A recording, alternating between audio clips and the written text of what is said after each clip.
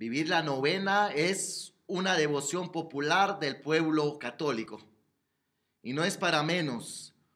Nos preparamos hacia un gran acontecimiento, la conmemoración de un septenario más de nuestro lienzo renovado. Por eso, queremos invitarlos a ustedes, queridos hermanos, para que hagamos esta novena en comunidad y con mucha devoción para vivir el acontecimiento de la renovación al cumplir 426 años del lienzo renovado.